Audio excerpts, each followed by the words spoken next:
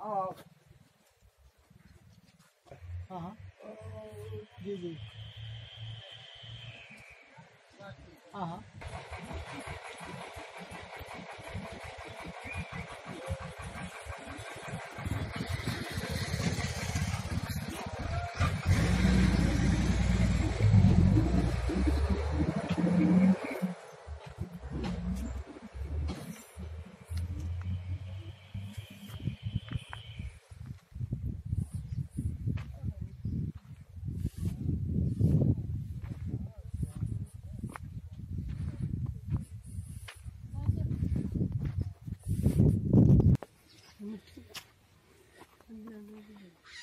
Oh.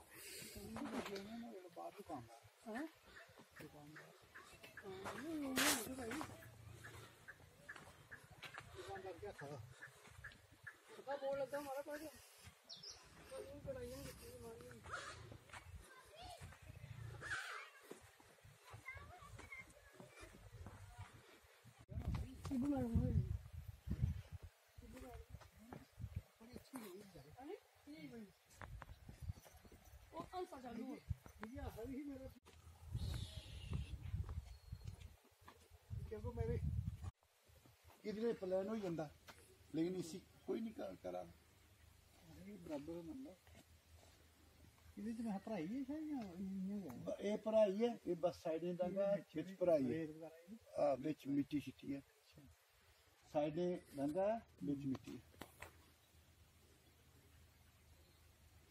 है मैं retire JDO हूँ हमारे यहाँ ये सड़क का काम पीएमजीएसवाई के तहत चल रहा है। अरसा दराज से लगा है, लेकिन इसमें कोई भी तवज्जो गवर्नमेंट की तरफ़ से नहीं है। ना डिपार्टमेंट के यहाँ आ रहे हैं तो ठेकेदार कोई कश्मीर का है, आगे उसने सबलेट किया है, चंचल सिंह है कोई मेट। वो कह रहा है कि मुझे ठेकेदार पैसे नहीं देता है। ठेकेदार कहता है, मैंने दे दिए, लेकिन हमारा काम सफ़र कर रहा है। और इस साल हमें रेनी सीज़न में इतनी तकलीफ़ हुई कि हमारे बच्चे स्कूल नहीं जा सके। और यहाँ से डबरा मोड़ तक पहले हमारी सड़क ठीक ठाक थी, गाड़ियाँ चलती थी, लेकिन जब से ये काम शुरू किया है, इन्होंने कीचड़ डाल के ना कोई गाड़ी आ सकती है और हमने अपने कपड़े खोल के बुरे तरीके से, बुरी हालत से हम घर पहुँचते रहे। और दो तीन महीने इतना सफ़र हुआ ये पूरा गाँव जिसकी कोई हद नहीं। अब, रेनी सीज़न के बाद भी काम की कोई तवज्जो नहीं है, कोई भी मौके पर नहीं आ रहा है। दो महीने से टोटली ये काम बंद है। पुल बन गया है, लेकिन इसको साइड पे ये अप्रोचें बनानी थी ताकि हम यहाँ इसके ऊपर से चल पड़ते। लेकिन आप देख रहे हैं, ये काम आधा पड़ा हुआ है। और दो महीने से यहाँ पे कोई तवज्जो नहीं दे रही है। साथ में ये पुली हमने फॉरेस्ट डिपार्टमेंट से बड़ी मुश्किल से बनवाई थी। ये भी गिर गई है। वहाँ से भी गाड़ी क्रॉस होना बड़ा मुश्किल है। हमारा आना जाना बिल्कुल बंद हुआ है। इस काम की तरफ़ से कोई तवज्जो नहीं दे रहा है। आगे लोगों ने, आप देखेंगे कि यहाँ साथ में ही बाड़बंदी कर दी है।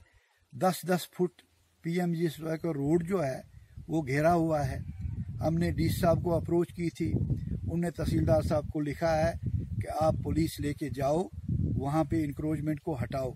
लेकिन छः महीने से यहाँ कोई नहीं आया, न इस इंक्रोचमेंट को किसी ने हटाया और न ही ये ऑलरेडी गवर्नमेंट लैंड है और गवर्नमेंट लैंड से वो पहले ही स्टेट लैंड से दो तीन बार बेदखल हुए तो इन्होंने ये इंक्रोचमेंट जो की है, इसकी तरफ़ कोई तवज्जो नहीं दे रहा है। न इस इंक्रोचमेंट को हटा रहा है। जबकि ये स्टेट लैंड पर इस वक्त गवर्नर साहब का कितनी तवज्जो है कि स्टेट लैंड से इंक्रोचमेंट को हटाया जाए। लेकिन सामने सामने ही सड़क पे इंक्रोचमेंट दस दस फुट की है, लेकिन कोई तवज्जो नहीं दे रहा है और न किसी ने इसकी तरफ़ हीट दी है। हमने डिपार्टमेंट को भी कहा रेन्यू वालों को भी कहा, लेकिन किसी ने यहाँ पे कोई दिलचस्पी नहीं दी।